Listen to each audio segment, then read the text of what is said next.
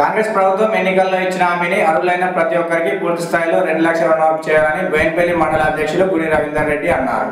శుక్రవారం మండల కేంద్రంలోని తహసీల్దార్ కార్యాలయంలో తహసీల్దార్ పుష్పలతకు వినతి పత్రం అందజేశారు. ఈ సందర్భంగా గుడి రవీందర్ రెడ్డి మాట్లాడుతూ ఎన్నికలకు ముందు కాంగ్రెస్ పార్టీ ఇచ్చిన హామీ ప్రకారం రెండు లక్షల రూపాయల లోపు రుణాలు తీసుకున్న ప్రతి రైతుకు రుణమాఫీ చేయాలని ఎన్నికలకు ముందు ప్రతి రైతుకు రుణమాఫీ చేస్తామని చెప్పి ఇప్పుడు రేషన్ కార్డు తదితర అంశాలను లేవనెత్తడం సరికాదని రైతునే ప్రామాణిక యూనిట్గా తీసుకొని రేషన్ కార్డుతో సంబంధం లేకుండా రుణమాఫీ చేయాలని రుణమాఫీ చేయని ఎడల రైతులతో కలిసి పెద్ద ఎత్తున ఉద్యమిస్తామని అన్నారు.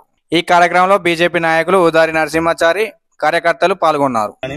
బీజేపీ తరఫున మండల శాఖ కార్యాలయం డిమాండ్ చేస్తున్నాం. ఈ రోజు భారతీయ జనతా పార్టీ బోయినపల్లి మండల శాఖ ఆధ్వర్యంలో రాష్ట్ర ప్రభుత్వం ఆ రోజు యొక్క కాంగ్రెస్ ప్రభుత్వము ఎన్నికలలో భాగంగా ఇచ్చినటువంటి హామీలు ఏవైతే ఉన్నాయో దానిలో ఒకటి ఇక్కడ రైతు రుణమాఫీ ఏదైతే ఉందో రెండు లక్షల రూపాయల వరకు అర్హులైనటువంటి ప్రతి ఒక్కరి రైతు కూడా రుణమాఫీ అందజేయాలి అదేవిధంగా ఈ యొక్క రాష్ట్ర ప్రభుత్వం ఈ యొక్క రాజు రుణమాఫీ పేరిట కుర్రీలు పెడుతుంది. కానీ నేను అనేది ఏంటంటే ఈ యొక్క ప్రభుత్వము ముందు ఈ యొక్క రేషన్ కార్డులు ఇవ్వక రేషన్ కార్డులో లింక్ పెట్టడం ఇది కరెక్ట్ కాదు. ఈ యొక్క రేషన్ కార్డు అనేది లింక్ అనేది తొలగించాలి.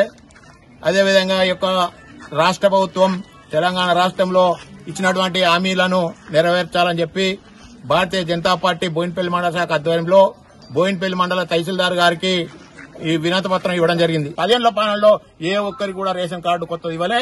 కానీ ఈ యొక్క కాంగ్రెస్ అధికారులకు వచ్చి కూడా ఇప్పుడు డిసెంబర్ వచ్చింది ఇప్పుడు కూడా ఏడు నెలలైనా కూడా ఏ ఒక్కరు కూడా కొత్త వాళ్ళకి ఒక్కరికి కూడా కనీసం రేషన్ కార్డు ఇవ్వలేదు. మరి రేషన్ కార్డు లింక్ పెడితే ఏ విధంగా మాఫీ చేస్తారు? రేషన్ కార్డు లింక్ పెట్టారు కానీ రేషన్ కార్డు కొత్తది ఇవ్వలేదు. ఒక ఇంట్లో ఎలాంటి ఆంక్ష లేకుండా పాస్ బుక్ ఉన్న ప్రతి ఒక్కరు కూడా ఖచ్చితంగా రెండు లక్షల రూపాయలు మాఫీ చేయాలని చెప్పి భారతీయ జనతా పార్టీ డిమాండ్ చేస్తా ఉన్నాం.